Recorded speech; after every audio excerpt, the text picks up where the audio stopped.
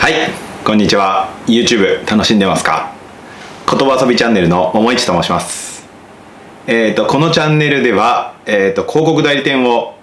営んでいる桃市がえっ、ー、とビジネスであったりえっ、ー、とまあそれにまつわるですねいろいろな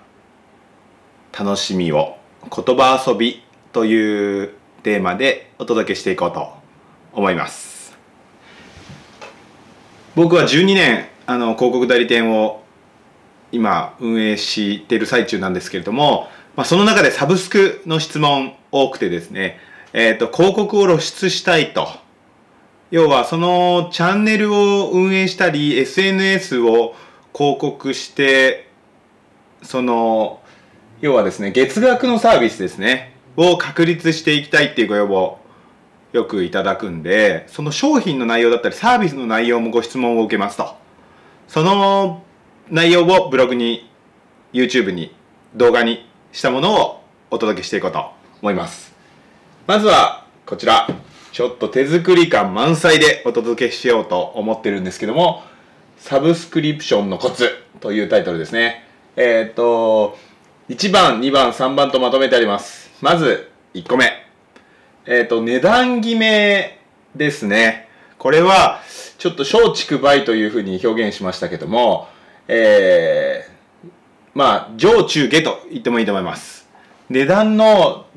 小畜梅を決めて、プラン3つにすること。これまず一つ大事ですね。えー、心理的にはなんですけども、あの、やっぱりサービスの良いものをあの求める方もいらっしゃいますし、まあ、入りやすさも大事ということで松竹倍なんですが、まあ、倍、まあ、これが一番、まあ、リーズナブルな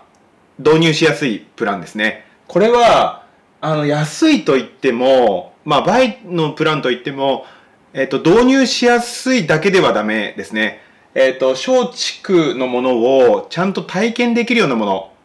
を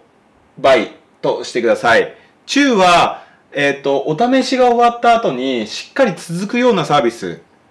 で、できれば松竹梅で、あの、地区の真ん中のプランが一番充実するような感じのサービス構成にするのが一番いい方と思います。松の